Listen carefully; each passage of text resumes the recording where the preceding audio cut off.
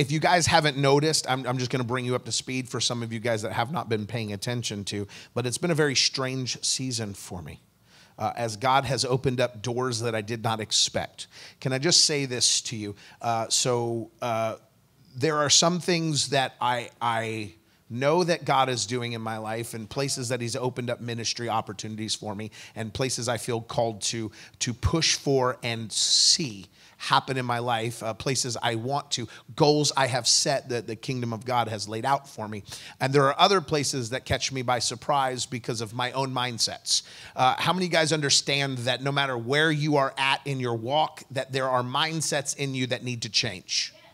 Uh, there, there is a difference between destructive mindsets and small mindsets. I believe both of them are destructive, but some, some mindsets are purposely for destruction. But did you know that, uh, that you're not only supposed to just stay away from things that are destruction, but you're also supposed to have thoughts that are for construction?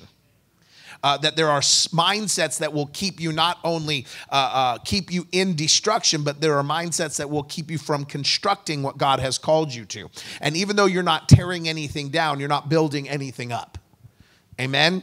And so it's necessary that we have the right mindset to not only tear down uh, the things that the enemy has built in our life uh, and not have thoughts that tear down the things that God has done, but also that we construct things in the opposite. A lot of times we're good at tearing things down. Oh, come on. Somebody knows that, right? You have somebody in your life that's really good at just tearing everything down? You're like, I got a great idea. And they're like, mm, nah, about three, 35 seconds, I'm going to tell you exactly how not great it is.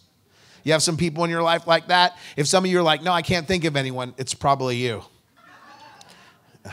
See how I just tore that down right there? You had this great image of yourself and it just got ripped down. You saw, okay, so a good example. That was a sermon illustration, didn't mean it. All right. If you're wondering, it might be you. so we're good at tearing things down and we're not always great at building things up, although it seems that we're really good at building up the wrong things sometimes.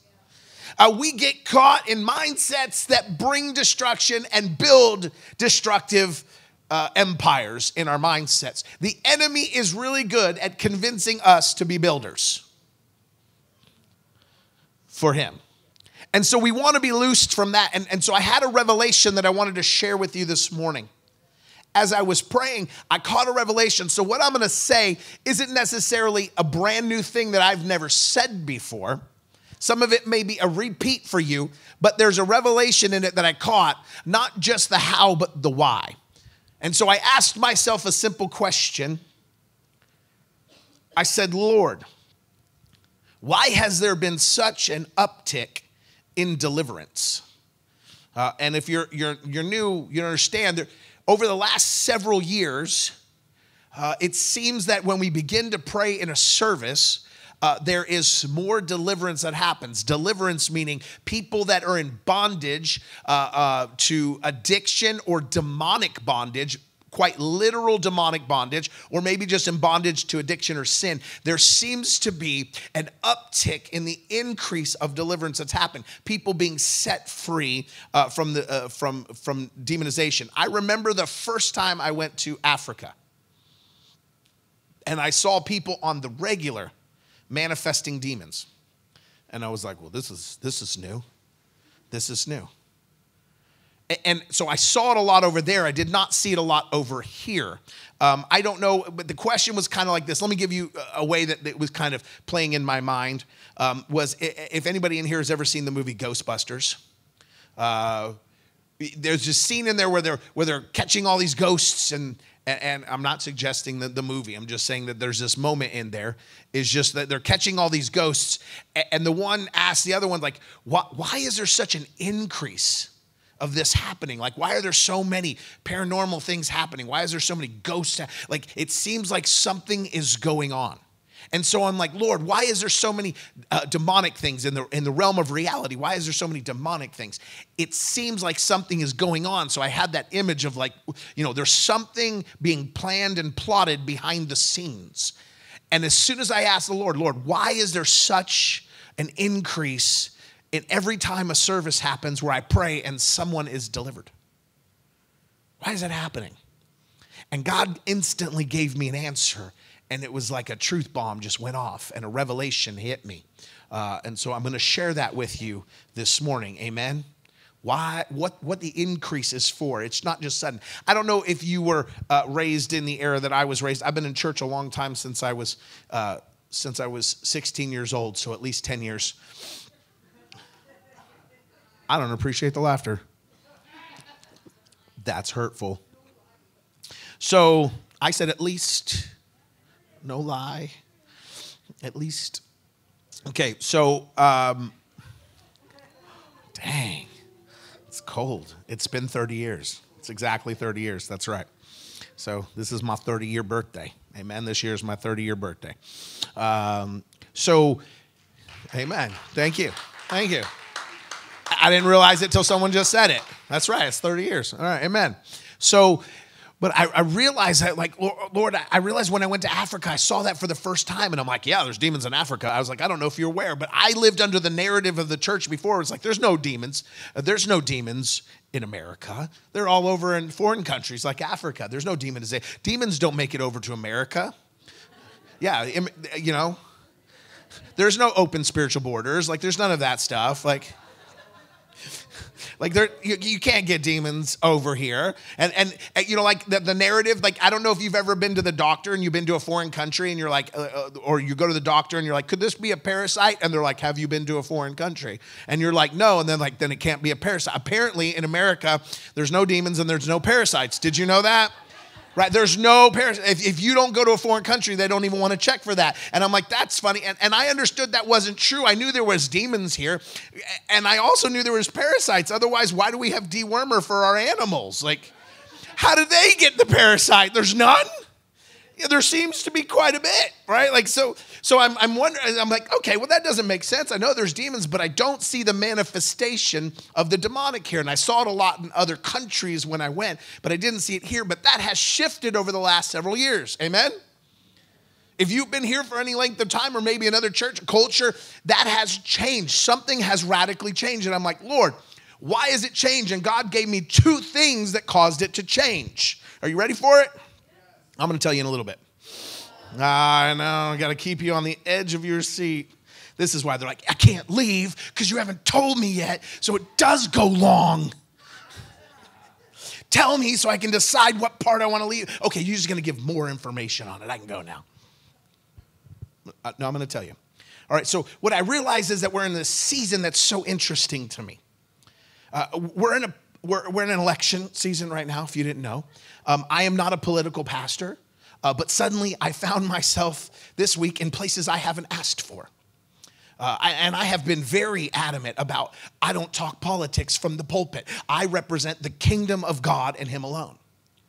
Uh, and that is very important to me that I am a pastor who represents the kingdom of God, not a man made government and not a side. Uh, and so I, I'm on God's side. And that's been very important to me. And all of a sudden, God has opened up this realm. I'm a person, I have a personal opinion, okay? But when I'm in the pulpit, I'm a priest, and it's different. It's different than my personal opinion. And so I navigate that carefully.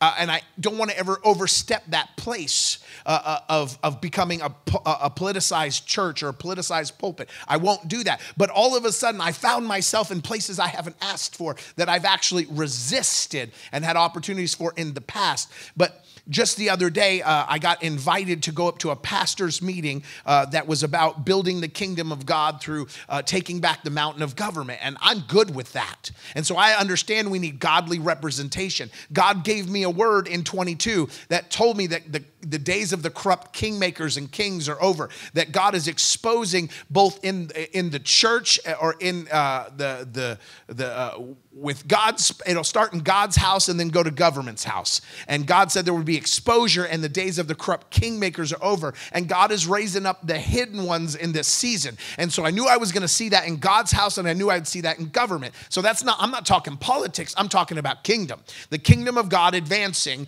over the kingdoms of this world. We are called to, to step in and occupy. The kingdoms of this world belong to God. So there should be, without politics, there should be, you should see the kingdom of God begin to make its way into government places and take over. It is not a hostile takeover, it's a loving takeover. It's a takeover of love. It's an overwhelming love that begins to change a nation into a godly nation. And so government leaders should change as well. That should be a part of it. We're still not talking politics, but there is a dangerous precipice that steps over into the wrong place. And I think I have an understanding of why it happens. So a couple of days ago, I went to this event and I got seated uh, with uh, U.S uh, Congressman uh, candidate, our next U.S. Congressman, Paul Bondar, invited me and his team invited me, and they sat me at his table uh, with our other U.S. Congressman, uh, uh, Congressman Hern from District 1, and, and, with the, the leader of the event. And so I, I looked around and I realized I'm sitting at the influential table. This is a big room with hundreds of people at this dinner, and, and they've seated me in the place that everyone wants to come over to to say hello. Uh, and I'm in a place of that. And I just had this overwhelming sense from God I don't want to be here right now. I want you to understand this. I, I was overwhelmed in, gra- in, in, gratitude, going, God, you've given me favor. I, don't, I, I didn't ask for this, it wasn't seeking it, but you've given me favor. And I just thought, oh, this would be a great time to go lie down at the altar and just praise Him. I kind of don't want to be here. And God said, That's why I've put you here. I put you here because you're a man like David who would rather be in the temple than at their table. And I realize that when we have the heart to be in the temple, that God will put us in places and tables that we never thought we would sit at because our heart's desire is to sit at his table in the presence of the enemies. Uh, but when we're unwilling to sit at his his sit in his temple, we'll never quite make it to his table. And if we never quite make it to his table, we certainly will not know how to handle the table uh, that may have enemies at it. And so it's very important. So I'm sitting there and I'm grateful for that. I'm like, Lord, I don't want to overstep my place. I don't want to. And it wasn't just that I got seated somewhere. I mean, uh, there has been, uh uh, uh, God has been giving me favor in those places to be able to speak into leaders in this season. So on, on Saturday, just to let you know, on Saturday, I gave my first political speech ever. Yeah, that happened. I got a phone call at 1245 and, and uh, they were like, hey, Paul can't be, can you go to this church and there's a rally and will you speak for Paul? And I'm like, ooh, oh, you know, I had told them, however I can pray for you, however I can help. And so I'm like, okay, I'm going to go do it. So I went and do it. I prayed and I asked the Lord. I went and did it. And so I got up and I gave my first political speech. Would you like to know what I said? Anybody? Some of you are like, no, no, that's not okay. This was my political speech. I prayed for Paul Bondar at dinner and he got healed of, uh, uh of, of a hip problem he had since birth. Amen. And then I said, I had a word in 22 that God was removing the corrupt kingmakers, and I published that in Charisma Magazine. And God is doing that in this season. Amen. And then I said, uh, Paul came to my church and, and we prayed over him, and, and I believe he's a man of God. Amen. He had a radical encounter with the Lord. I said, I don't know anything about this political stuff. I don't even know his platform, but I know that Jesus is his Lord and Savior. And I know that he'll follow God. Because, and, and how do I know that he's the right one to pick? Because God gave me a word for him. I asked the Lord before I knew he was running. I said, Lord, if he's supposed to run, he didn't know if he should run. And, he, uh, and his campaign manager wanted a word from the Lord. Do you have a word uh, uh about whether this man should run? He's debating about running, and, and I feel like he's supposed to, but I need some help. And I said, Has he filed yet? No. Okay, so I can't look him up. No. And you haven't told me his name. Don't. Said, Don't tell me anything about this man. If he's supposed to run, God will give me a detail like a family member's name or his birthday. Okay. So I messaged him back. I messaged him back his birthday. And he took that to him, and Paul said, That's my birthday. And he knew he's supposed to run. And so I told them this. And then I said, So I have nothing bad to say about the uh, opponent. I said a couple other small things, but I said, I'm not here to give a political speech. I'm just here to speak to the character and nature that I've seen out of this person. So if you're looking for someone whose character is true and his words are true, uh, and you can trust his character, uh, then that's him. And that was my political speech. I gave a sermon. But I'm like, God, man, I don't, I don't get involved in this stuff like this. Is not what I'm called to. And, and I understand there's a, a melding of the kingdom. Like, I get that. And I, I don't want to ever be seen that way. And, and, and I understand that there's something that's gripping our nation and that we have, because I'll tell you at the same time, like, that was exciting. I went inside the church, and I, I don't mean to shame any church, but I can't, I can't shake loose of this. I can't shake loose of it. So forgive me. So I'm telling you, as I'm stepping into political influence or uh, leader influence, right? Samuel uh, raised up David to be king. Samuel appointed Saul to be king. He spoke into leaders' lives. Esther saved the nation of Israel because she spoke into the king's life. We need godly people. We need priests and Christians, prophets, leaders to speak into our national leaders, to speak into government leaders. Government leaders need their ears and they need our mouths. So it's important that we are in those places, but it's important not to cross those lines. So I went to the church, and, and as I was there and, and, doing what I was asked to do, I peeked into the sanctuary. And, and I asked the little kid because I saw it and I was a little confused. I'm like, oh, that, that's interesting. They, they, they were really going all out for today. Because I noticed that across the entire back wall of the, of the stage, was a giant American flag. Like it covered the whole backstage of the, of the sanctuary uh, behind the pulpit it was a giant American flag. And I said, Oh, uh, were they going to do something inside? Because they were doing it outside and maybe they, they, they, were doing it inside. And I said, Is that flag always up uh, uh, in, the, in the sanctuary? Is that the main sanctuary? Yes. Is that flag always up? And the little kid, Oh, yeah, every Sunday. That flag's, yeah, that flag's always there.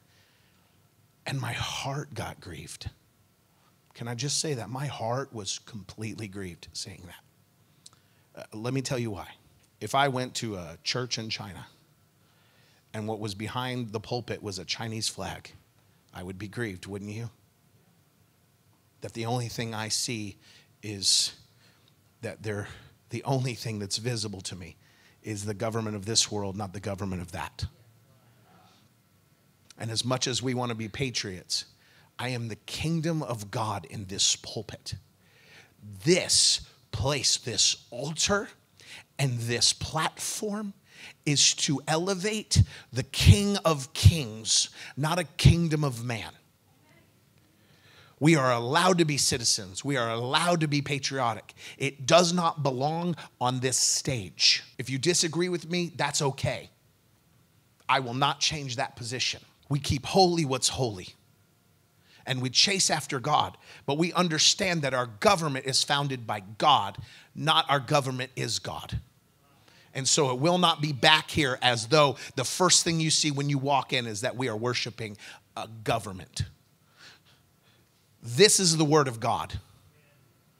This is the inspired Word of God. And I believe that our founding fathers were inspired by God. You know, there's a great story that I heard about our founding fathers being inspired by God. You know, they prayed during the Civil War, uh, during the Revolutionary War, excuse me. They prayed all the time for divine providence to come and God to lead them uh, in great ways. But when they went to write the Constitution, they struggled to write the Constitution. In fact, for several weeks, like two or three weeks, they couldn't come up with anything. They couldn't get anywhere, just no progress. And they were getting frustrated. One of the founding fathers brought up the fact, they said, You know, during the Revolutionary War, we prayed for the providence of God all the time. Uh, by the way, it was one of the founding fathers. I can't remember who, but it was one of the founding fathers who was considered a deist that didn't believe in God really. And he said, We prayed all the time and the hand of God was there for us. And he goes, But yet, as we've been trying to form this country and write a document, we haven't prayed once. And so they all took several days. They left and they fasted and they prayed. And then they came back together and wrote the Constitution. So I believe God's hand is in that document. I believe that God's hand is there. But this is the inspired word. Do we understand? and so what i realized is is that what is it that gravitates us towards those things where we step further than we should uh, and, and i realized something is something big that happens the reason why we push into that stuff is that there is a fundamental flaw in our faith there's a fundamental flaw in our faith that says we don't actually completely trust god to resolve the situation We haven't completely trusted God to lead us. And so, what we've done is we put our trust in a government instead of God alone. Now, I trust God to lead godly men and women in our government. I trust God that He's raising up hidden ones in this season. And so I'm not absent of those two things. What happens is I trust God as He leads others. You trust me as I lead you. Uh, and I trust that God is raising those up. And I'm proactive in my trust. Faith without what? Works is dead. So there are works that demonstrate my trust, my faith that God is moving. And so I'm active in my faith. I'm not, I don't sit back and go, God, you'll take care of it. That's a mistake. I'm active in my faith, but my faith, the works that come with it, show and demonstrate my trust. The problem is, is when we respond not out of trust of God, but fear of the enemy. So we are responding, uh, response is the wrong word. We are reacting to the enemy to, out of fear of the enemy rather than in response to the kingdom of God. Because we trust God, we are active, not because we are afraid of the enemy. Do you understand the difference there? One is a, fear response or a trauma response. The other one is boldness that God has given us to advance the kingdom of God into all the earth. And so I've recognized that there are some ways that the enemy gets a hold of you and why we're seeing an increase in the demonic. But we have to understand first, before I tell you what happened, how the enemy grabs hold of you and why we're seeing more people demonized than ever before. The Bible says this in Ephesians 4 In your anger, do not sin. Do not let the sun go down while you are still angry, and do not give the devil a foothold. I've talked about this before. That word foothold in the Greek means quite literally place. So it means it, it's just it's place. It means place. Foothold is a is a fancy translation. It has nothing to do with the actual word. Uh, while you are still angry, and do not give the devil a place. Uh, that word 94 out of 95 times. It's listed 95 times in the Bible, and 94 out of 95 times it's definitively a physical location. There is only one time in the Bible that you could bring up a debate of whether or not it was physical or a spiritual location. But every 94 times it's definitively, why? Because I read every one of them. Every single time it is definitively a physical location it is taught. They went to the place where the pool was. They went to the place where they worship. They, they were going to the place. So it was always a place that they were going to every single time. So it says, don't give the devil a physical location. Well, there's a secret there in Ephesians. How did he get the physical, physical location? In your anger, do not sin. Don't let the sun go down while you are still angry. Anger is a door for the devil, it opens you up. So there are people that are active in their faith in, in this season right now, but they're not active because they're saying they're, they do not have a word from the Lord going, God wants to put godly leaders in our nation, and so I'm going to actively support it. Hoorah, I'm excited. I love what God is doing. They are doing it out of anger. And so while they are doing the morally right thing, they are doing it out of the wrong heart. And here's the truth you can be demonized doing good things. Eve saw that the fruit was good, it wasn't evil. She saw that it was good and it would give her wisdom. It wasn't that it was giving bad things. So the enemy can use good things to grab you. Some of you are catching that right now. So anger is an open door. So I'm like, Lord, what are the open doors? How are, we, how, how are you getting in there? So there, there are seasons where it's like the enemy has overshowed his hand. Now I'm mad. You need to be real careful. When I teach about how to bring a greater level of deliverance, one of the biggest revelations that I give is very simply this stop hating demons more than you love the person that's demonized. If you hate the demon more than you love the person, you will get the demon out, but you will traumatize the person in the process because you're more interested in screaming and yelling and beating and stabbing and slashing demons, and that person is in a nightmare and you don't care at all. You, you, you want to uh, make a mockery of the demon. Well, Jesus made a mockery. You want to make a mockery of the demon. You don't realize it's through a person and they're being humiliated to the point of PTSD. Like that's what happens because you hate something more than you love. And so what happens is is you give yourself an anger. I got some righteous anger. You better be real careful with the word righteous anger because I believe there are a lot of people that make the excuse that their anger is righteous anger and they don't realize that they've opened a door to the enemy. The enemy will creep in anywhere he can and he'll make you think it's righteous. I remember the Pharisees thought they were pretty righteously angry towards Jesus and him breaking the law. They were righteously angry. And it said that the devil was in them. Do you know that? The devil was in them. And I can tell you this as many deliverances as I've done, um, a religious spirit seems to be the one that um, has the most hold. In fact, I'll say this way uh, there is a difference between a demon occupying territory and being married to the person to where they become one. What you don't see is Jesus cast out religious spirits, he rebukes them and calls them dead already. He's not trying to cast out a demon to find the living person. He says they've already died because they've married themselves to that. They've become one flesh with that thing. There's a difference. So we have to be real careful not to do that. But we give in to anger, and anger grabs a hold of us. So we have to begin to tear down those things. So there are two things that cause that I think that are the biggest things in this season that I've seen that have caused demonization to happen at a greater scale. And I'm going to give you the revelation in a minute about like how it happened. But the second one is fear. Second Timothy 1 7. We all know this one. For God has not given us a spirit of fear, but of power of love and a sound mind. So we have to renew our mind. We have to have a sound mind. Otherwise, we've given ourselves into a spirit of fear. Uh, what does it say? Fear is a what?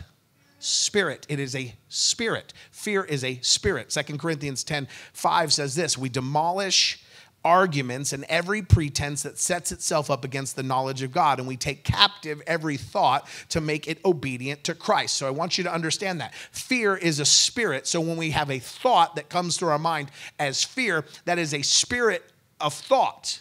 It is a spirit. And it says this we demolish arguments. You are called to tear down those thoughts to demolish the thoughts and every pretense that sets itself up against the knowledge of God. And we take every, captive every thought that make it obedient to Christ. So if we are called to take thoughts captive, what are thoughts? What, what are negative thoughts? Fearful thoughts, angry thoughts. What are they? They're enemies. They're literal soldiers that are meant to be taken captive. They are spirits, not just thoughts not just your own self. There's sometimes you have a thought and you think, uh, there's something wrong with me that my mindset is not right. And we do not realize that some of those are a spirit and you are called to put them in prison. Not entertain them, execute them. Demolish every stronghold, demolish every thought, tear them down. They are enemies and they are places. So that means that how does the enemy gain hold of us? Corrupted thought that's entertained opens the door to demonization. When you have a corrupted thought that you don't demolish, but you desire. See, you're beating yourself up because a thought of desire came. The thought of desire is, a, is an enemy combatant. There's not a problem because you had a thought of desire. It's when you desire the thought that there's a problem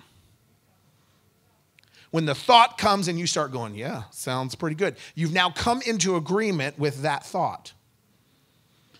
And so, a spirit of fear. And so, when there is a negative response, whatever is pure, whatever is lovely, whatever is holy, think on these things. God gave us a perspective of what we are to think on so that we don't dwell on negative things. So, when we come into uh, anger, fear, humiliation, insecurity, any, any type, pride, all these negative thoughts are the opposite. They are usually spirits trying to gain access to you.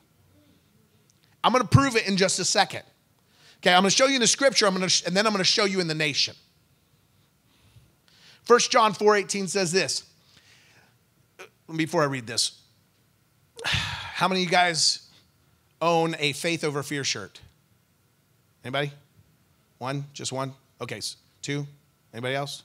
Some people online on. Okay, so uh, that's theologically incorrect. I don't mean to ruin, ruin your wardrobe, but you're okay. Okay, but it's it's bad theology.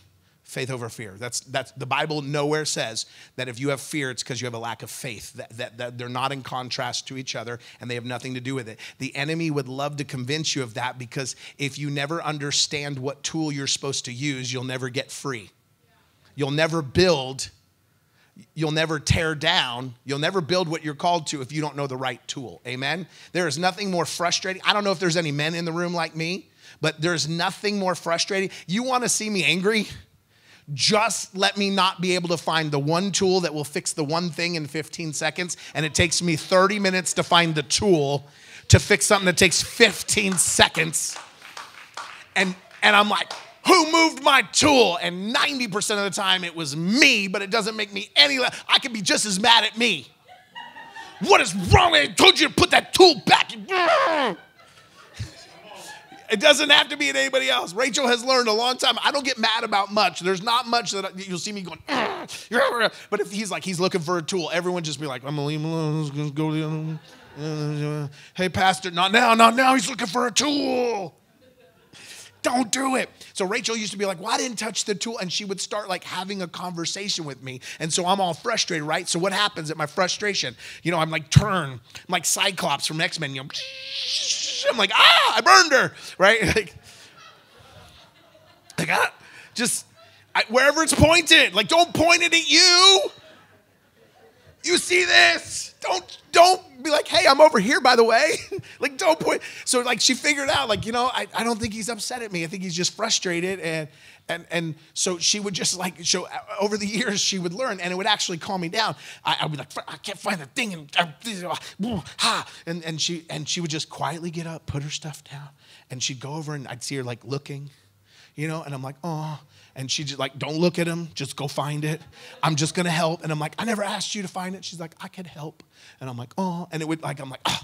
She is quietly getting up, so I don't point at her. I'm like, okay, I'm gonna stop. I'm getting all frustrated. I've gotten much better over the years, you know. But that was that one that one thing. Like everyone's got their one thing. I used to I used to be really bad at Walmart rage. I didn't. I don't have. Uh, I don't have car rage at all. Like, I don't have car rage. Like, I'm one of those, I'm like, what is wrong with you? So, how's your day been? Like, I get, you know, I get three second road rage. Like, that's all I get. Like, so I'm so totally okay. But Walmart rage, you park your, man, you, oh, you park your cart on one side and then stand between you and the cart on the, and looking at the stuff on the other side, and your cart's blocking one way and you're blocking the other way.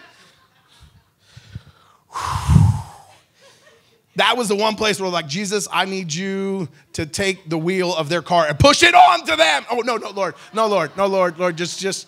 So I was so bad. Like, I have, I want you to understand, I'm telling on myself from years ago, but not now, okay? I was a work in progress. I have finally fixed this one, but I'm gonna tell you why. Okay, so um, I, would, I was the guy who was like, I'd see that and I, and I, would literally walk up and stand there and they, they would be oblivious, right? I, I don't think people are always trying to be rude. I just think they're unaware there are other people alive on the earth.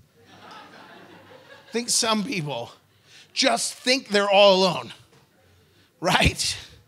So I'm like, you know, there's other humans alive. I don't know if you're aware of that. And so um, I would literally be the guy that would walk up and be like, oh, okay, not like anybody else wants to get through this aisle. I would say it, not think it. I did not take that thought captive at all. I loosed it. Some of you are like, I said it. I did too. I did too. Right? And, and I would say it. And one time, somebody say one time. one time. It was more than one time. It's true. It, I got a thick head. It took me a few times. But um, this is when we were Mustang, and the Walmart Mustang was like just right next to our church, like within walking distance almost. Huh? Yeah, yeah. So I, I'd be there, and I'm like, not like anybody else wants to walk through. And the person turned around, and it was one of our church members. And they looked at me like, you know, like this person is being completely rude. And I saw them, and I knew what I had done and I instantly understood that the sun had gone down on my wrath. And I was like, oh, be angry and do not sin. Like, okay, uh, and luckily I am quick witted, okay? And they turned around and they looked at me and I'm like, oh, my Lord, help me. I say, but it, the Bible says, don't worry in that day when you face trial, right? Because that person is definitely judging me right now, that God will give you something to say in that moment. And thank the Lord, He bailed me out while I learned my lesson because I instantly just looked at him and said, I got ya. And they went, Oh, Pastor, you got me. I'm like, dang. And I was like, Ha, how are you? Scared you. I gotta repent. I gotta change. I gotta get this fixed. So, like, praise God, I testify I have fixed that. No more Walmart rage. I go into Walmart and I'm like, pray, I pray in tongues the whole way. Shut up, shut up. Have bought a salad, but instead about a Twinkie. Oh no. Lord help me. So I would be angry and I would, but, but I, I realize like we're all prone to that. We don't take our thoughts captive and we need to learn to take our thoughts captive and put them in submission. It is a lifelong journey in several areas. So not all of us are there yet in one area or another. And you say, well, I don't have no Walmart rage, but you have other places that frustrate you and make you angry and you give into those thoughts. You entertain those thoughts and they feel, why is it, why do you think it is that when you, when you have an angry thought or you're frustrated, you actually feel powerful for a moment. For a moment, you're like, I don't want to stop being angry. I don't want to forgive them. You ever had somebody repent to you and you're like, dang it, I wasn't done being mad. I was enjoying being angry. And now you've repented and I have to forgive you, and I'm not ready to. There is something that makes you feel, like, let me say it clearly. You are not empowered by your anger, but there is something in you that you start to feel empowered by your anger. That's a spirit in you. That's a spirit that is giving you a false sense of power by being angry. But fear is the exact same thing. Now, while you don't feel powerful in fear, you feel like you're trying to recapture your power. You feel like you're trying to reclaim power. So you feel like some power has been stolen, and so you're searching out. The enemy's wise, he knows, he understands. So we demolish those arguments and we take them captive because they're prisoners, they don't belong to us. So 1 John 4 18 says this it gives us the idea of what it's not faith over fear. So I'm not going, Lord, I'm afraid, so I must have no faith in you. The Bible doesn't say that. It says this there is no fear in faith. No, there's no fear in love. But perfect love casts out fear. So there, fear is a spirit, and it turns out that perfect love casts it out. So fear can be a spirit that is cast out. That's what the word says. It gets cast out. But it doesn't get cast out by faith, it gets cast out by love. Jesus didn't heal because of faith, he healed because of love. It says he had compassion on them, so he healed them. Faith is a component of that, that exercise, but the, the umbrella, the overlying principle is because he loved, he did. And so it is perfect love that casts out fear, not faith. You need to add faith as a tool to your arsenal, but it is, but without love, you've you've taken away the greatest tool that you have. Period. Okay? So I want you to catch this because I feel like in this season this is relevant to us.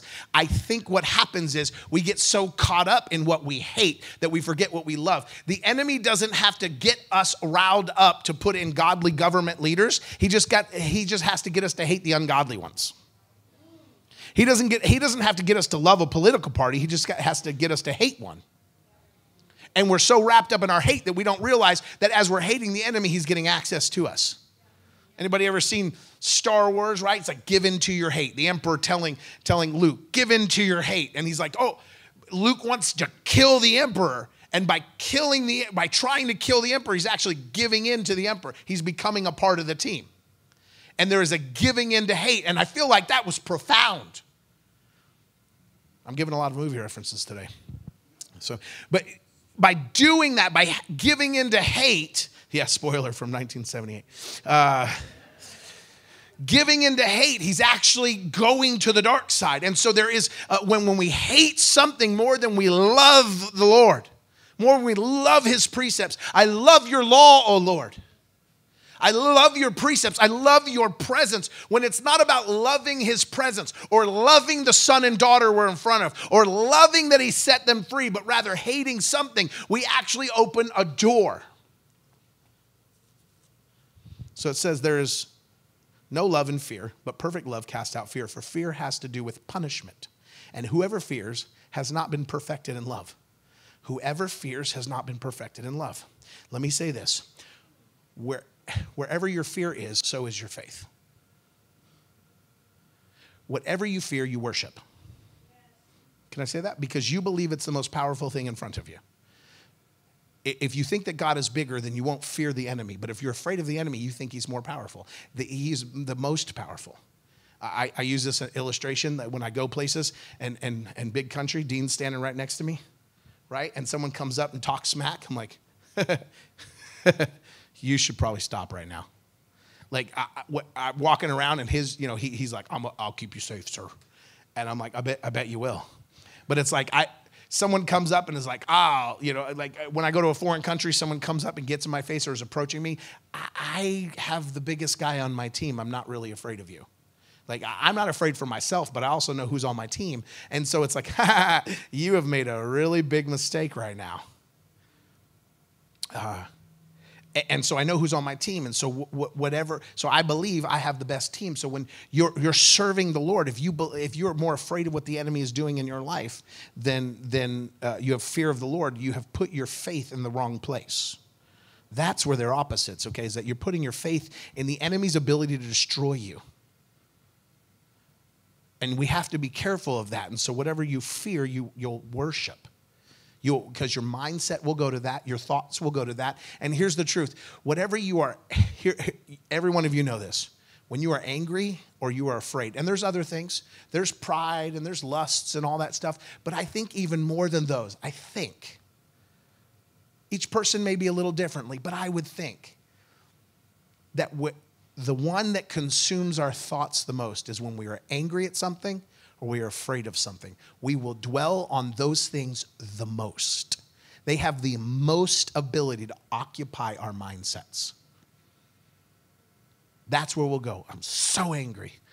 There's been times where I was so upset, someone hurt me, that the first thing on my mind before I even realized I was awake was that situation. Right? And fear will do the same thing. It'll paralyze you into that thought.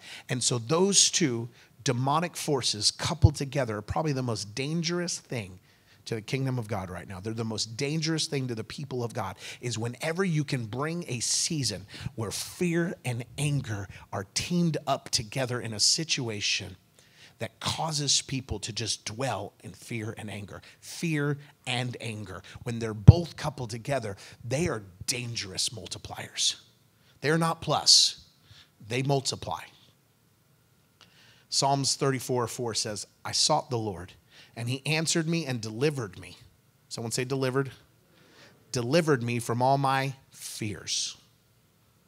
So you can be delivered from a spirit of fear. Proverbs 29 25. The fear of man lays a snare, but whoever trusts in the Lord is safe.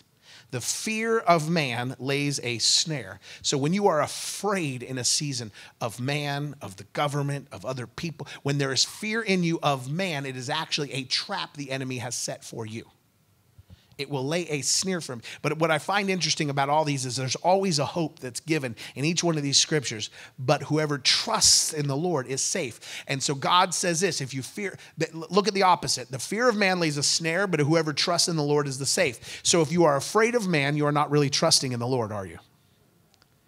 So it gives us a direct, if you'll just trust me, you won't be afraid of them. Shalom, I leave you. My shalom, peace and the reason why I read it in the, the TLV version Shalom I leave you, my shalom I give you. You've heard that before. My peace I leave you, my peace I give you. Uh, but it says this, and that's why shalom's more powerful. It says, Shalom I leave you, my shalom I give you, but not as the world gives. The word peace implies surrender. The only time two warring nations ever have peace is when one warring nation admits defeat and surrenders and is at the mercy, mercy or slavery of the other nation. The other nation they've surrendered to now sets the term term of that surrender. Right? In ancient times, or, you know, 100 and something years ago, past, about 200 plus years ago, when you surrendered to a nation, many times it meant being enslaved to that nation. Okay? And so that is, that's the world's version of peace. But this is shalom, not as the world gives, but not let your heart be troubled or afraid. So peace becomes a weapon to not allow your heart to be troubled or afraid. Love is the umbrella, and God gives us all these ways that we can increase our ability through trust and through having the peace of God, that we don't have to be troubled in the storms. I'm not afraid, but I carry the shalom of God. I don't need to be afraid. Because I love God, I have his shalom in me. Because I love people, I have his shalom in me for them as well. Psalms 103 17. See, I'm just running through these scriptures so we know that there's meat in this. Psalms 103 17. But from everlasting to everlasting, the Lord's love is with those who fear him. How do we get more love in us? Make sure that we haven't lost fear in the one we are supposed to fear God. Not be afraid of God. There's a difference between being afraid of the world and fearing God. You cannot lose the fear of God. Do you realize it's built in us that we will love something and be afraid of something? That's how it works because they're opposites. We will love something and be afraid of something. And so either you love God and are afraid of Him, or you love the world and you're afraid of the world. The same world that people want to chase after is the same world they're terrified of. The same world that brings all the desires of your heart is the same world you're afraid of as you chase those desires. You want them all and you're afraid they'll be taken from you. Like you can lust and fear the same thing. And so you can love God and fear Him at the same time, recognizing that He's big and He wants you to follow His precepts. And here's the interesting thing about all these things is that these are all commands. He gave Joshua a command and said, Do not be afraid. I command you to be strong and courageous. It doesn't mean he's not facing a situation where there's fear in there. He's just overcoming it. He is demolishing the fear. He is taking fear captive. It's not that there's no fear in facing an enemy, it's that he refuses to allow fear a foothold, a place in him. It may be present, but it doesn't have a place. And so that's the difference is that God is saying, I'm going to tear that down instead of you giving into fear. Courage, uh, courage, excuse me, courage is when you resist fear that's there and press through and move forward anyways. Courage is not when you don't have fear, it's when you don't let fear have a place. When you take it captive and you say, it's, it's, I'm, this, is, this is scary, but I'm gonna do it anyways. I'm gonna do it. I tell people, people are like, How do you pray for people? You're so bold and like you're not afraid of anything. Yes, I am. Absolutely. I just do it anyways. I don't care. I don't let fear have a place. I don't let fear dictate the outcome. I don't let fear determine what I do. Fear does not direct me in any way. It is not my compass in any way, shape, or form. I tear it down every opportunity it has to poke its ugly head up. So be strong and courageous. And so some of you aren't aware of how much God, I, but I command you. And so what happens is when we live a life of fear or anger, we are literally it's sin. Can I say that? It is sin. Why, why would you say it's sin, Pastor Ed? Because God has commanded us not to, and we are. That is a direct violation of a command He gave us, which means we're in disobedience to a command, which in itself is sin. To be a coward is to be in sin perpetually. Perpetually. I can prove that in the book of Revelation it tells us who goes into the lake of fire. It says liars go in there last, talks about adulterers going in there, murderers, right? The fornicators, they go into lake of fire, those sinners. Sinners going to just lying to everybody, go to the lake of fire. That is not a nice weekend lake retreat, okay? They're going in the lake of fire. But do you know the first one into the lake of fire? You know who, what it says? Cowards. Cowards are the very first one. They are people who have allowed their lives to be a stronghold for the enemy, who have let the enemy take them over like a parasite and demonize them. They, they, they're zombies. They live for the enemy.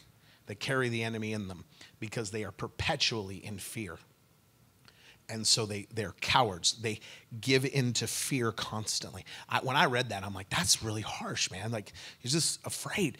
And i was like god is trying there, there's something to this. God is not a mean god. He, he's not trying to be harsh on us to be harsh. He has mercy and goodness. So there must be a revelation in here that we don't understand of how dangerous fear is that he would throw the cowards in there so that we must resist that and put us in right standing with what he's given us a weapon and so many weapons against fear and anger, there must be something. It doesn't say the angry get thrown in there, but the fearful get thrown in there. The ones that live by that fear. And, and it's like God is trying to keep us from something that is destructive, that not just is destructive for us, but actually is destructive for everyone that's around us because of our fear. Ask any soldier what will get you killed faster lack of skill or, or a, a, a fearful soldier. A soldier that panics in the moment, right? That gives into fear and freezes right? Yeah, that, it, right, that it's dangerous to everyone around. All right, you ready for it? Here it is. So I was like, Lord, why do we see the uptick uh, of the demonization? What, what happened? What opened the door? Where did this come from?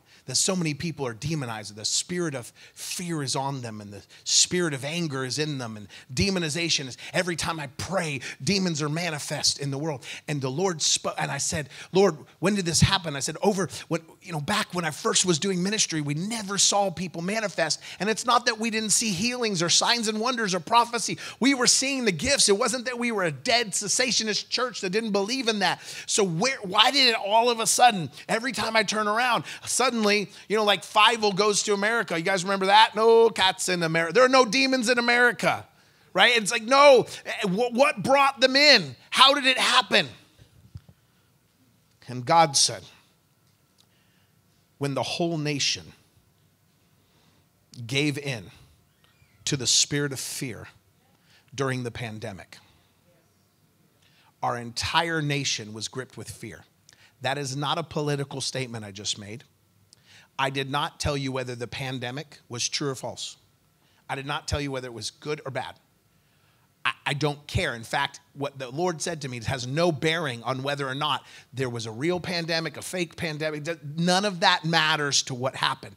The reality is, is all the enemy needs is for something true or false to bring fear and open a door so you can be demonized. And because fear gripped our nation, and for those of you that say, well, I wasn't afraid. No, but you got angry. For you that didn't get afraid, you were angry at all the people that were afraid. Tell me I'm lying. See, it's hitting you right now. You're like, my mind is blown. He just, he's right. These people walking around in fear. And the other people going, You're not afraid, you're gonna kill me. Fear gripped people.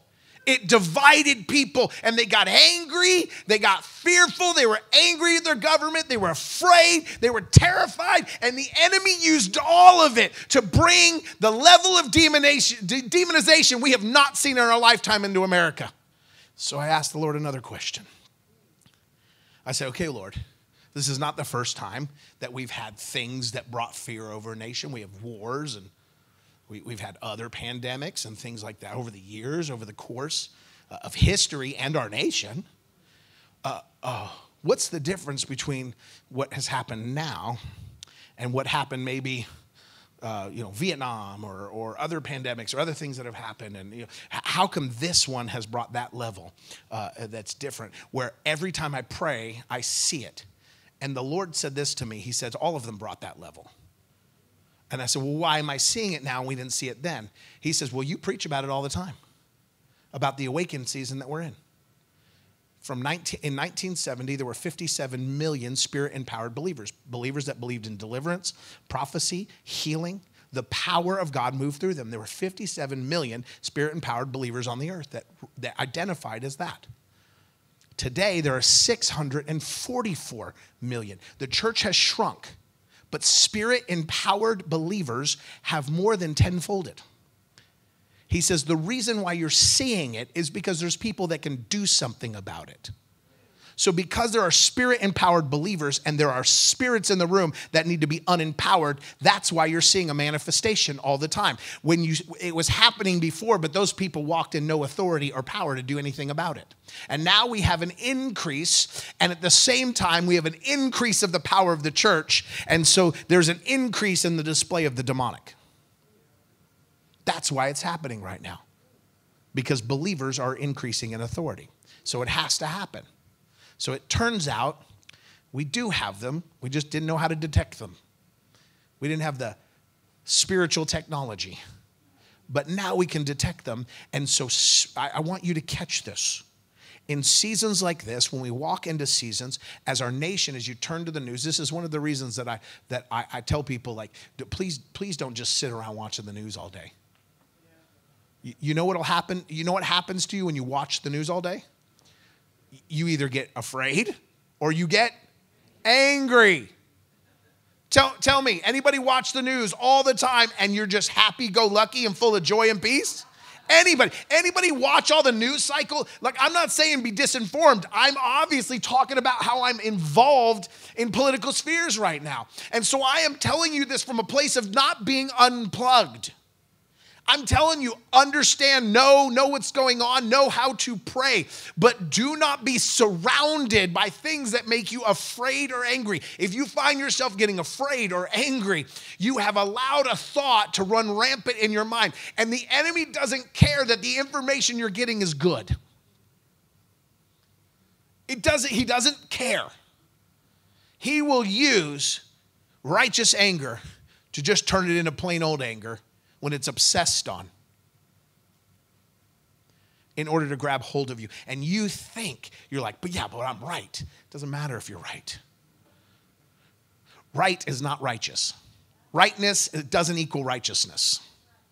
And so we have to be careful not to give ourselves into it. So there has to be a balance where the kingdom of God always comes first. Otherwise, we will always open ourselves up to fear and anger. And when fear and anger grab you, the, the demonic forces of hell can grab a hold of you. And I'm not saying that just because you're angry once or fearful once that all of a sudden you are demonized, but it does allow the enemy to come in and rob you. Here's the truth is that the enemy is not the thief you've been told he is. John 10 10, but the thief comes to steal, kill, and destroy. Back up to John 9, it will explain to you. He's talking about the Pharisees that try to get to heaven and, and avoid Jesus as the door. They sneak in another way. They're thieves and robbers. They come in and they don't go through him. And so he calls them thieves. There is nowhere in Scripture that calls the enemy a thief. Did you know that? There's nowhere in Scripture. That's the only place, and it's misinterpreted, it's for the Pharisees. Am I suggesting the enemy doesn't take from you? Absolutely not. He's not a thief, he's a king of this world. Kings aren't thieves, they're plunderers, they're invaders. When a thief comes into your territory to take from you, he is engaging in warfare. It's war, not thievery. So we want to picture the enemy as some little burglar sneaking around taking things from you. He doesn't have the right, he has to have access to you. He has to, in scripture, you look and he, he has to, Jesus says, the, the uh, Satan has asked for you to sift you, but I have prayed for you. He had to ask permission to have access to Peter. He had to ask permission to get at Job.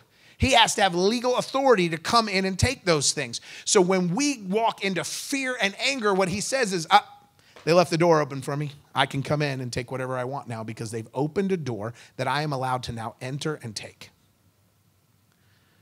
I can't come through a locked door, but I'm allowed to come in a door where they open up and say, Come on in. Thank you. I think I'll take your TV. I think I'll take your valuables. I'll take what I want because you have invited me in. And so we have to be careful not to, we have to take our thoughts captive, not give them a dinner invitation. We have to take them that. So it's more important in seasons like this where we're prone to look around, especially as our church is being kind of involved in this, and go, ah, ah, and, and watch the, the way we love instead of how much we hate what we see. We hate what's happening in our government. We hate what's happening in our world. We hate watching sin take over. We hate watching the enemy advance. I love watching people get free. I love seeing God touch lives. I love seeing God advance in the nation. I love the people of our country. Therefore, I stand up for godly leaders. I love them. I am not motivated by hate. I am not motivated by being afraid. We got to do something or else we're going to lose. We have to stop being motivated by fear and hate. So when you start getting riled up, you start getting upset, stop for a second and go, Am I coming from a place of love or am I coming from a place of fear? We want to pray for you. Send us a message with your prayer requests through Facebook or email and let us know how we can pray for you today. Also, let us know how this message impacted your life. I love you. God loves you. Shalom.